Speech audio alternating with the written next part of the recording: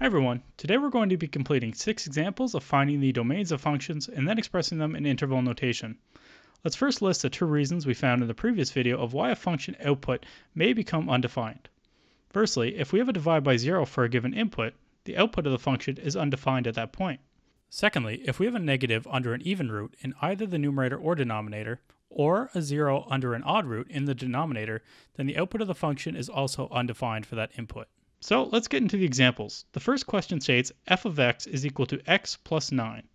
In this example, there is no potential for a divide by 0 or a negative under an even root. So all real numbers can be used as inputs to this function, and a proper output can always be found. Therefore, to express this domain in interval notation, we write capital D, colon, round bracket, negative infinity, comma, which means 2, positive infinity, and end with another round bracket. This notation for expressing the domain is called interval notation, as we are breaking up the various regions of the domain into smaller intervals, or alternatively said, we break up all the possible inputs into smaller chunks by denoting key spots on our number line. Since the domain for this function is every real number, there is nothing to put on our number line.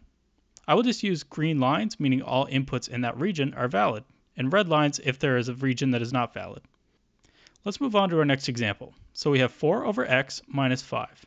Noting we now have a denominator, let's take that aside as it is our only area of interest for this function in terms of the domain.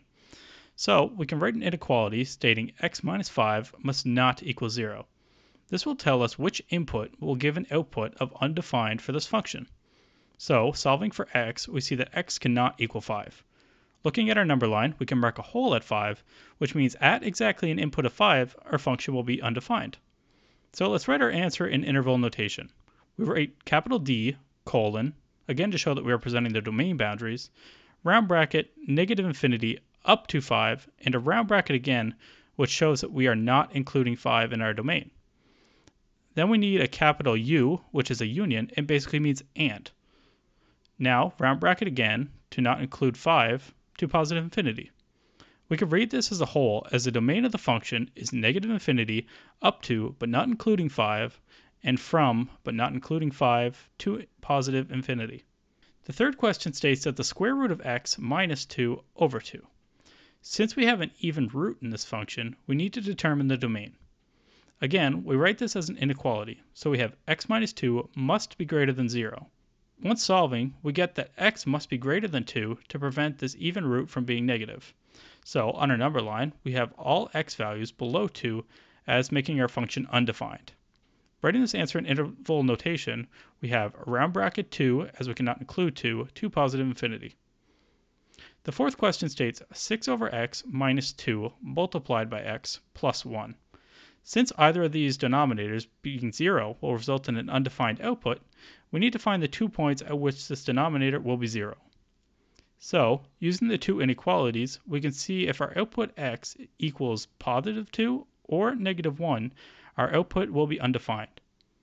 This can be seen on our number line as we have two holes. Writing this answer in interval notation, we have capital D, colon, round bracket, negative infinity, up to, but not including negative 1, union, not including negative 1, up to, but not including 2, union, and then every input from, but not including 2, to positive infinity. The fifth question states that the cube root of 2 minus x over x plus 1 times the square root of minus 4 plus x. Alright, this one looks bad, but trust me, it's not.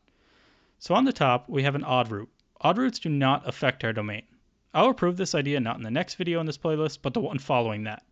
I will also add a link to the top right corner of your screen to the video where I explain this theory. However, on the bottom, we have x plus 1, which when solving the inequality means we have a hole at minus 1. And we also have to solve for the square root, which will affect our domain. So x must be greater than 4. As we can see on the number line here, the hole at minus 1 doesn't really matter as x must be greater than 4 anyways. So writing the answer in interval notation, we have capital D colon all numbers greater than but not including 4 to positive infinity. Lastly, the final question states 5 over 2 minus x to the power of 3. We got about solving this problem the same way as we did with our other problems. Beginning with an inequality, so we have 2 minus x cubed cannot equal 0.